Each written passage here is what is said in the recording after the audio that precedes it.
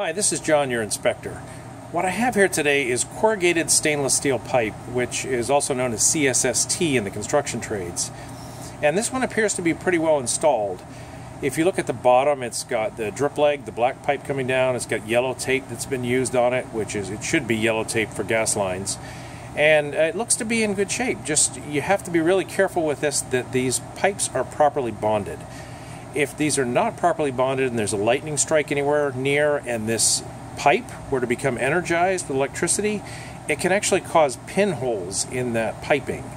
Um, it, it's, this stuff can be uh, damaged somewhat easily, but it's, it's not super fragile. But it, if it's installed through a wall incorrectly or whatnot, it requires protection as it's installed through there.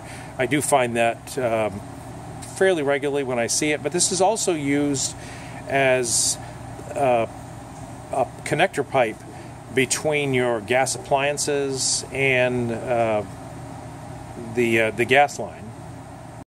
Picture up here of the uh, gas line going to uh, to an appliance, and uh, also when you look at this particular one, this one is bonded. If you see the the wires I have up there, uh, there is one going from a water line, the copper line, over to the black iron pipe, which is the gas pipe.